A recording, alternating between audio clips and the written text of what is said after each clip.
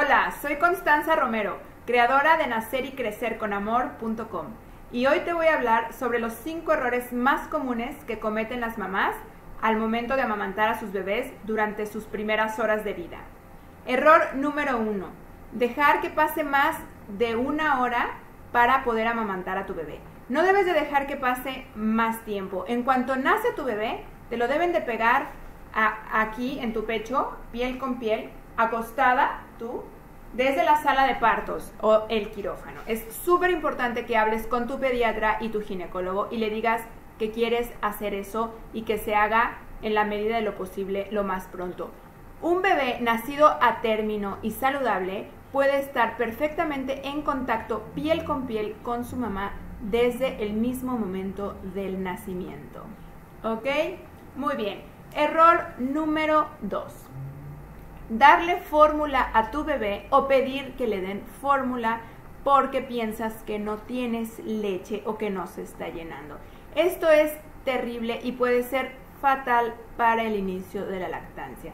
Muchas de las veces la lactancia fracasa por este error, porque las mamás creen que no tienen leche suficiente o les dicen las enfermeras o el médico o el pediatra deja prescrito en sus instrucciones que a ese bebé le tienen que dar fórmula. Entonces, no, ni siquiera una onza ni media, nada. Ese bebé lo único que necesita es estar contigo y mamar de tu pecho, ¿de acuerdo? Bueno, error número 3 Esperar a que el bebé llore para ofrecerle el pecho.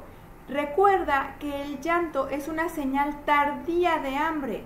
¿Qué quiere decir esto? Que hay señales antes de que lloren, de que tienen hambre. Se, chupan los puños, abren la boca así, buscando el pecho, dan lengüetadas, esto indica que el bebé quiere comer y no está llorando todavía. Entonces no te esperes a que llore. Lo único que tienes que hacer es ponerte a tu bebé al pecho en cuanto veas estos signos de hambre, ¿de acuerdo? Muy bien. El error número cuatro, creer que no hay leche o que no tienes leche porque tu bebé te pide cada 20 o 30 minutos, te pide muy seguido el pecho. Le acabas de dar, estuvo en una toma unos 40 minutos y apenas este, lo dejaste y a los 20 o 30 minutos el bebé despierta y quiere más leche.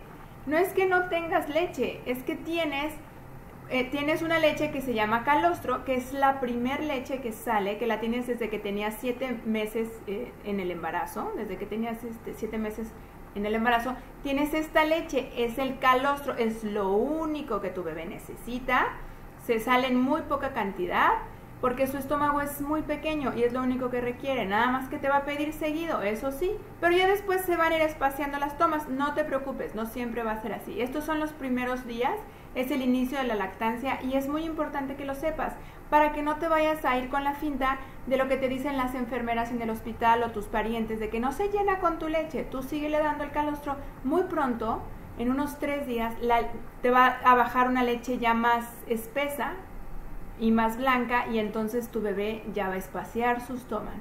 Por lo pronto es lo único que el bebé necesita y dáselo, no te preocupes eh, porque no se llena, ¿ok? Bueno, y el error número 5 y el último, dejar que se lleven a tu bebé a los cuneros para que tú descanses. Esto es totalmente falso. ¿Por qué? Porque es totalmente contra la naturaleza.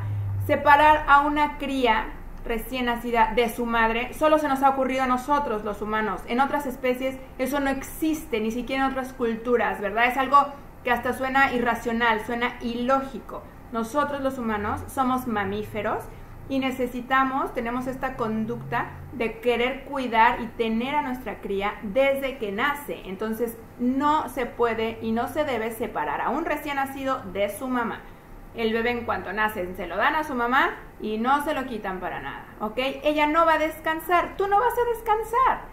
Si te, se lo llevan vas a estar angustiada porque vas a estar pensando cómo estará mi bebé, dónde está y no vas a poder descansar. Es mejor que te lo quedes. Si quieres descansar, te tumbas en la cama, te lo pones encima, en medio de tus pechos, piel con piel, te pones una sábana o una cobija, depende de la temperatura del ambiente, y te quedas bien a gusto dormida con tu bebé. También lo puedes aprender a amamantar de lado, en la misma cama del hospital. Pueden subir los barandales pueden poner algunas almohadas. Además ahí siempre hay vigilancia.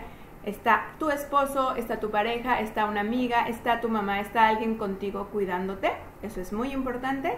Están las enfermeras alrededor. No tengas miedo de dormir con tu bebé. Es lo más natural del mundo. ¿De acuerdo? Somos la única cultura que separa a los recién nacidos de sus mamás. Y ya ve qué desastre está el mundo. Creo que no estamos haciendo bien las cosas, ¿verdad? Entonces, por favor, no lo hagas, que no se los lleven a los cuneros. Un buen hospital es aquel que tiene el cunero vacío de bebés, ¿ok? En el cunero solo están aquellos bebés con alguna condición de salud crítica, que necesitan estar vigilados por el pediatra y las enfermeras porque este bebé tiene una condición de salud especial. Un bebé sano tiene que estar en contacto directo con su madre desde que nace. Entonces, que no se lo lleven a los cuneros. Y si tú no cometes ninguno de estos errores, porque ya me viste aquí en el video y ya sabes cómo hacerle, vas a tener una lactancia exitosa, te lo garantizo. ¿Ok? Bueno, pues fue un placer poderte ayudar con este video. Espero que te haya servido y nos vemos a la próxima. Hasta luego.